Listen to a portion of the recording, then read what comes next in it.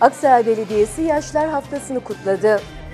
Başkan Dinçer'in eşi Merve Dinçer'den yaşlılara ziyaret. Aksaray Belediye Başkanı Evren Dinçer'in eşi Merve Dinçer, Yaşlar Haftası dolayısıyla Abdülkadir 3 Yıldız Huzur Evi'nde ikamet eden yaşları ziyaret ederek çeşitli hediyeler takdim etti. Başkan Dinçer'in eşi Merve Dinçer beraberinde kadın belediye meclis üyeleri ve belediye meclis üyelerinin eşleriyle birlikte gerçekleştirdiği ziyaretlerinde hasta olan yaşlara geçmiş olsun dileklerini iletirken gerek sağlık konusunda gerekse diğer konulardaki istek ve görüşlerini dinledi. Yaşlar Haftası nedeniyle huzurevi sakinlerinin misafiri olan ve kısa bir değerlendirmede bulunan Merve Dinçer, Yaşlar Haftası'nı vesile ederek eli öpülesi büyüklerimizi ziyaret ettik. İstek ve görüşlerini aldık.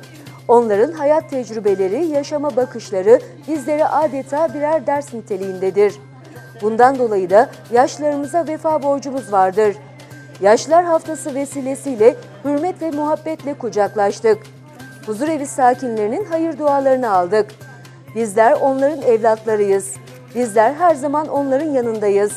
Bu duygu ve düşüncelerle büyüklerimize mutlu ve huzurlu günler geçirmeleri dileğiyle saygılarımı sunuyor, misafirperverlikleri için kurum çalışanları ve huzurevi sakinlerimize teşekkür ediyorum dedi. Belediye Başkanı Evren Dinçer'in eşi Merve Dinçer ve beraberindekiler ayrıca huzur evinde kalan yaşların el emekleriyle hazırladıkları ürünlerin sergilendiği ve satışa sunulduğu standları gezdi, ürünleri incelediler. Yaşlılarla uzun uzun sohbet eden Merve Dinçer, huzurevi sakinlerine hediyeler takdim etti. Ziyaret hatıra fotoğrafı çekimiyle son buldu.